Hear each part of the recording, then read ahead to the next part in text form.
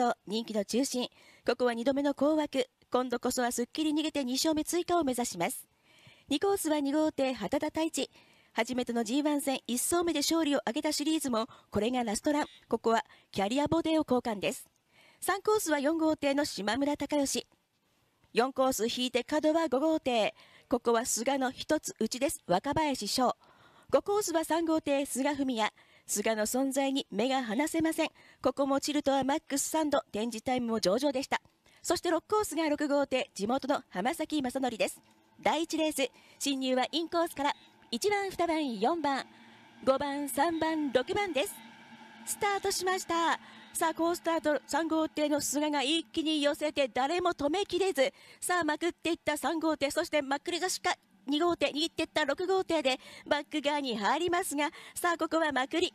一撃です。3号艇の菅文也、一定心、二定心とリードを取って、その後ろは内から4番、1番、6番と3艇並んで、その後ろに2番、5番、スタートは正常でした。今開くトップで3号艇の菅、その後ろの混戦は4号艇が先行、握っていった1号艇、くるっと6号艇が運んできますが、2番手混戦からわずかに4号艇の島村、そして2停止空いたところ内に6号艇浜崎外側に1号艇君島の3着争いでこれから2周の1マーク。まず4号艇は2番手旋回。握っていった1号艇くるっと6号艇が運んできますが握っていった1号艇少し大回りで6号艇浜崎がわずかに優勢の3番手。ここで上位の3艇は3番4番6番です。先頭から2番手、2番手から3番手は大きく低下空きました。さあ、6号艇の後ろから1号艇がやってくる。これから2周の2マーク。6号艇、浜崎に対して角度をつけた1号艇の君島の冊子が届いてくるか。しかし、踏ん張って粘っています。3番手は6号艇の浜崎ですが、まだリードは一定心ぐらいか。へ先をねじ込んできた1号艇の君島です。スタート6番と1番が接戦で3周の1マーク。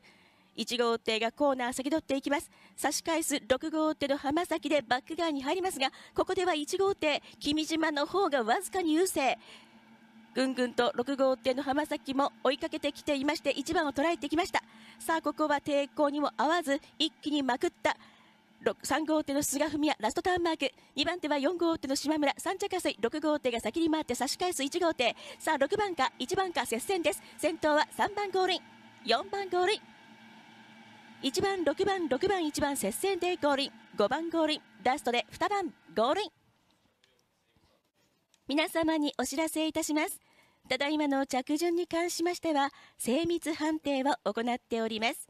確定が出ますまで今しばらくお待ちください。